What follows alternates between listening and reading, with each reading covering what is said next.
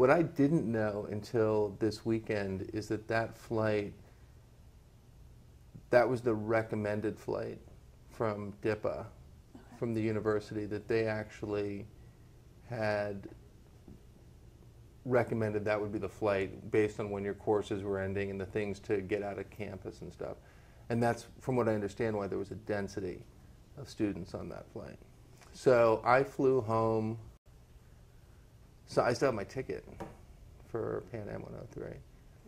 And um, I flew home and I was sitting on my couch and I remember the phone kept ringing. My brother was like, "Yeah, he's right here.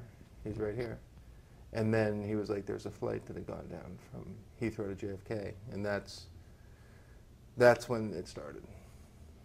Um, tell me a little bit about your classmates that were on that plane. Um, well, I was uh, friends with uh, Nick Vrenios, and I attended his memorial and spent time, a lot of time with him. We both enjoyed photography, and we're constantly uh, trying to break into or onto something to shoot something.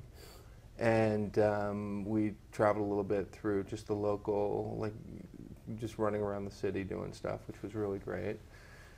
And uh, Louann Rogers, um, Louann and I flew from, uh, she was from Olney, Maryland, and we flew from Dulles to JFK together when the trip began, and then from J, I mean from JFK to London, Mm-hmm. and uh, you know, so we spent a lot of time just as someone who did the traveling together.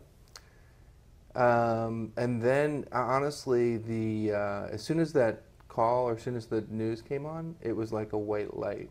And there's a lot of stuff that I remember um, about London.